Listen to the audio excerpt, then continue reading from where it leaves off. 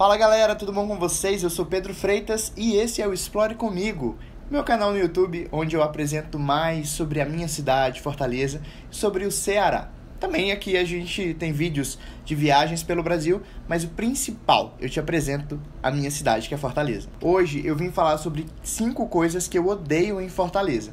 Isso não quer dizer que eu odeio Fortaleza, que eu não gosto de morar aqui, pelo contrário.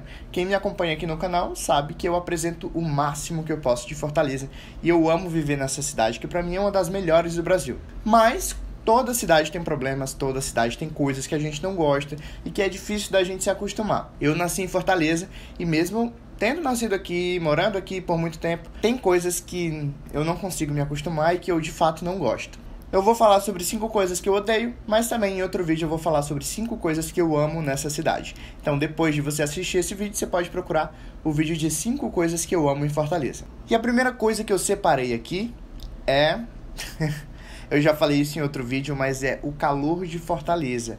E eu não tô falando do calor, assim, geral, porque o ano todo em Fortaleza faz calor. E isso é até positivo, porque a gente curte muito a praia.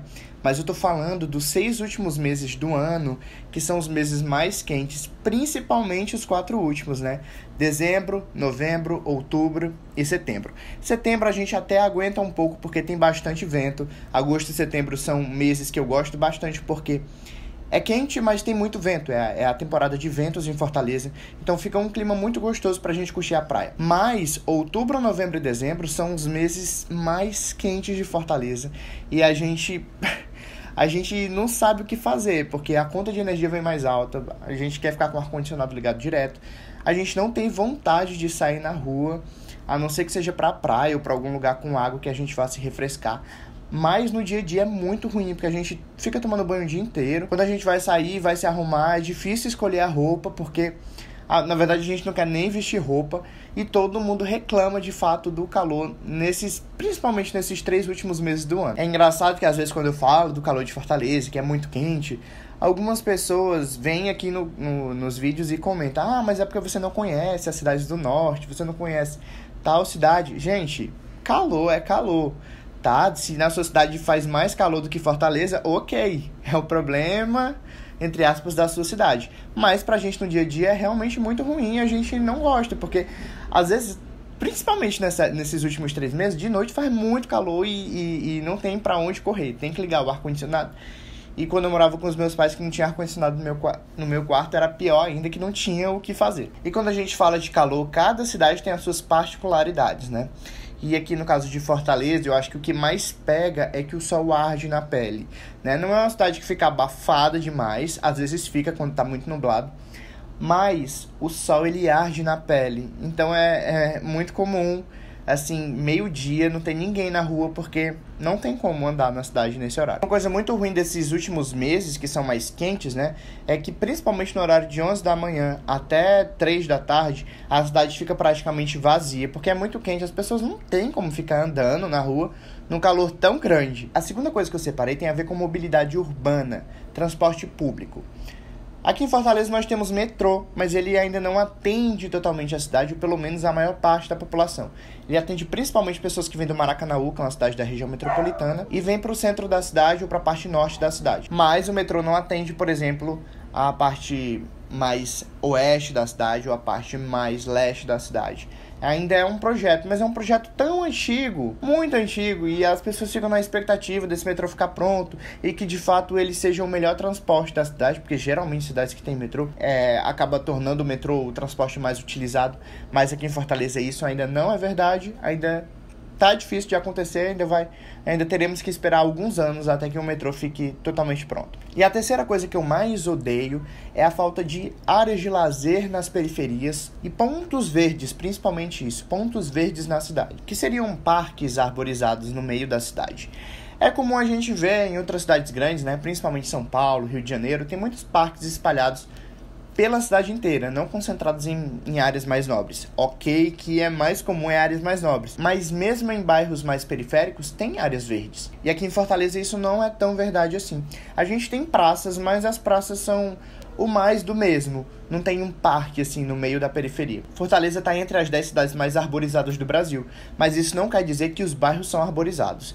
Acredito que a maioria dessas árvores se concentram ali no Parque do Cocó e naquela região que é de reserva ambiental. Mas no meio da cidade não tem tanta árvore assim. É muito comum a gente ver morador arrancando árvore o tempo todo. Inclusive, a última gestão arrancou tanta árvore, principalmente na Avenida Bezerra de Menezes, que fica aqui perto de casa, que assim, no dia a dia a gente sofre mais ainda com o calor, que foi um dos itens que eu citei atrás. E a quarta coisa que eu odeio em Fortaleza, e essa daqui eu vou começar a abrir meu coração para vocês, porque de fato, assim, eu odeio mesmo, que é a falta de padrão em muitos serviços.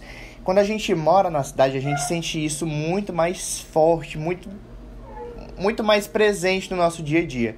Porque a gente vai em um lugar comer e aí tá muito bom naquela primeira vez. Até quando a gente vai na segunda já não tá tão bom. Na terceira acaba se tornando uma decepção. É muito raro a gente encontrar um lugar que mantenha um padrão. Geralmente esses lugares são restaurantes mais caros e maiores, ou então em fast foods, né, que aí estão espalhados pelo Brasil inteiro, no mundo inteiro, e aí eles precisam ter esse padrão. Mas acredite, às vezes até nesses fast foods a gente acaba se frustrando com a qualidade do serviço que acaba variando muito. Então, assim, a gente costuma comer, aqui em casa pelo menos, uma vez num lugar, repete a segunda vez, na terceira a gente já não tá indo, porque quase sempre é uma decepção. E a última coisa que eu separei, que acaba linkando um pouco com o ponto anterior, mas que essa de fato é a coisa que eu mais odeio em Fortaleza. E não só eu, mas muitos dos meus amigos e muitas pessoas que eu conheço que vêm para Fortaleza morar ou então só vieram passear, que é o atendimento em qualquer lugar você vai ter um problema com o atendimento. Nós que somos daqui acabamos nos acostumando com esse atendimento medíocre que tem na cidade. E às vezes você não recebe um boa tarde, um bom dia, um obrigado. a pessoa às vezes não pergunta o que, que você quer. Muitas vezes você chega num lugar, a pessoa diz, tá, o que, que você vai querer? Não te apresenta cardápio, não fala direito com você. E, e isso é, é muito frustrante, é muito chato. Teve uma vez que eu cheguei num lugar pra receber uma encomenda da minha mãe. E aí eu cheguei lá no balcão, a mulher disse, só falou assim: diz o que é o teu. Eu fiquei assim: meu Deus, a pessoa não dá um bom dia, não pergunta de uma forma educada o que que eu tô procurando ali no estabelecimento. Ela só fala assim como se estivesse fazendo um favor para mim. E não é, ela tá prestando um serviço para mim, eu tô pagando a ela por isso.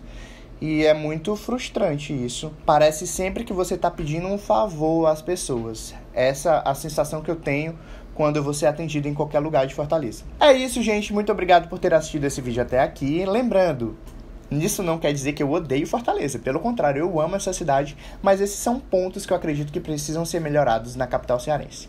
Muito obrigado por ter assistido até aqui. A gente se encontra no próximo vídeo. Tchau, tchau.